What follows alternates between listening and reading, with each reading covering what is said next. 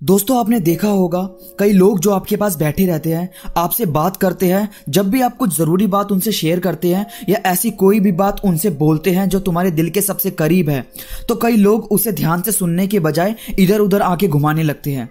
तुम्हें अनदेखा करते हैं तो समझ जाओ कि ये बंदा तुम्हें आगे जाकर धोखा देगा। ऐसे लोगों से दूर रहो, और इन्हें सिर्फ़ वही बात बताओ जितनी ये तुमको बताते हैं। अपनी कोई भी पर्सनल बात इन लोगों को ना बताएँ। अगर तुम इन्हें ऐसी कोई भी बात बता देते हो, जो तुम चाहते हो कि सिर्फ़ इसी शख्स तक रहे तो ऐसा नहीं होगा। वो शख्स कब तुम्हारी हर बात इधर उधर कर देगा, तुम्हें पता भी नहीं चलेगा।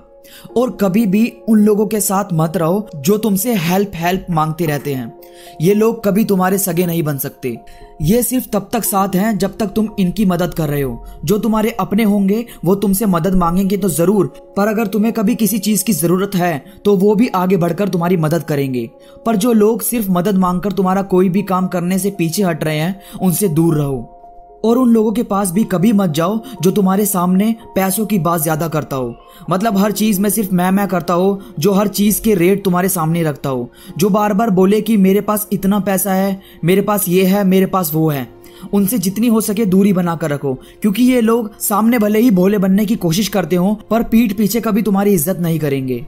वो यही सोचेंगे कि ये हमसे बहुत नीचे है, इसके पास कोई भी पैसा नहीं है, और फिर तुम्हारे आत्मसम्मान को ठेस पहुंचाएँगे।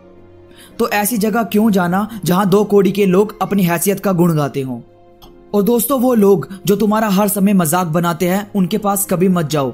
देखो, आपसी में दोस्त बैठे हो, तब तो मज़ाक चलता है। पर अगर कोई हर जगह एक नए शख्स के सामने तुम्हारा मज़ाक उड़ा रहा है, तुम्हारी इंसल्ट कर रहा है तो ऐसे शख्स से दूरी बनाकर रखो। ये शख्स तुम्हें बहुत कमज़ोर बना देगा और तुम ये भूल जाओगे कि तुम क्या क्या कर सकते हो। उसकी बातें तुम्हारे दिल दिमाग में ऐसे घर कर लेगी कि फिर तुम्हें ऐसा लगने लगेगा कि तुम लूजर हो और यही सच है, जबकि इस दुनिया में कोई भी शख्स लूजर नहीं है। ये हमारी सोच है जो हमें पूरी तरह बाँध देती है।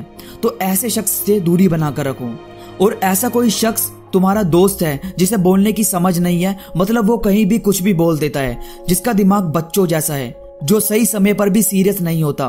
तो उस शख्स को कभी ऐसी जगह मत लेकर जाना, जहाँ तुम्हारी बहुत इज़्ज़त हो। क्योंकि ये शख्स वहाँ भी कुछ ना कुछ ऐसी बात बोल देगा, जिससे तुम्हें काफ़ी शर्मिंदा होना पड़ेगा, और हो सकता है तुम्हें वहाँ माफ़ी भी मांगनी पड़े। तो ऐसे शख्स को साथ रखो, पर कभी उसे ऐसे करीबी शख्स से मत मिलवाओ जो तुम्हारी इज़्ज़त करता हो, क्योंकि ये तुम्हारी इज़्ज़त को बहुत ठेस पहुँचा सकता है।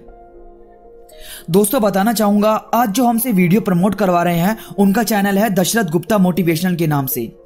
उन्होंने जिस वीडियो को प्रमोट करवाया है, उसमें उन्होंने कुछ ऐसी बातें बोली है, जिसे सुनकर मेरा दिमाग काम करने लगा। उन्होंने बताया कि बचपन की तरह जिद्दी बनो, तभी तुम कुछ हासिल कर पाओगे। कमाल है यार ये थॉट। मैं जानता हूँ आपको उनकी वीडियो हद से ज़्यादा पसंद आने वाली है। उनकी वीडियो का लिंक आपको डिस्क्रिप्शन में मिल जाएगा। दशरथ गुप्ता मोटिवेशन को सपोर्ट करने में कोई कसर मत छोड़ना यार।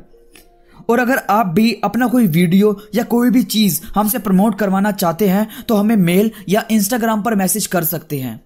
हम और हमारी यूट्यूब फैमिली आपको पूरा सपोर्ट करेंगे। अभी के लिए बस इतना ही। मिलते हैं नेक्स्ट वीडियो में। तब तक के लिए धन्यवाद।